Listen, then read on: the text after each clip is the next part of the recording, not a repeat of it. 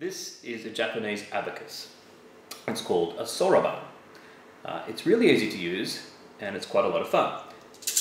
And the way the beads click and clack up and down is really cool and makes you want to pick it up and use it again and again.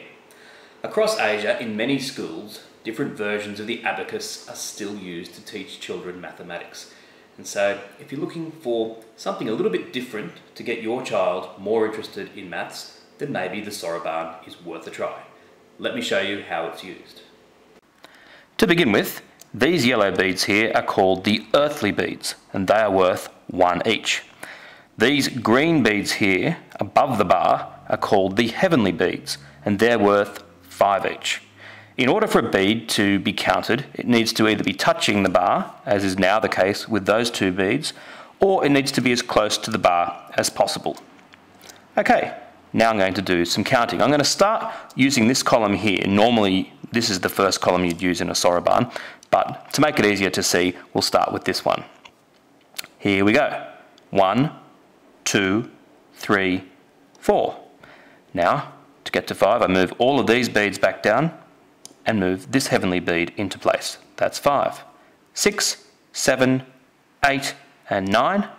And now to get to 10, move everything back into place and move one up in the next column. That's 10. 11, 12, 13, 14, 15, 16, 17, 18, 19, and 20. So as you can see, the soroban has place value. In the way that we're using it, this is the ones, this column is the tens, the hundreds, the thousands, and so on. Okay, next of all, how do you represent a number on the soroban?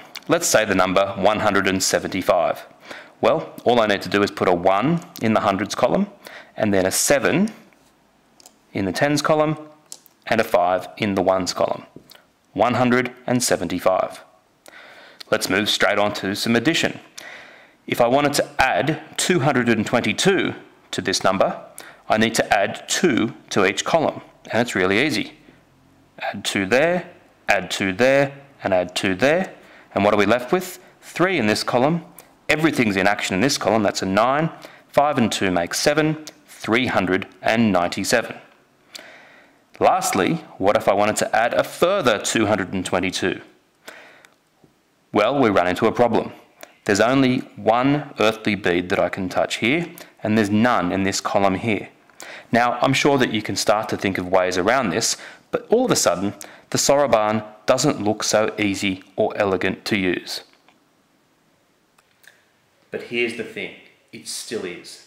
There are just a couple of tricks that you need to learn and all of a sudden you'll be able to add really large numbers really easily. Stay tuned for the next video when I show you how it's done.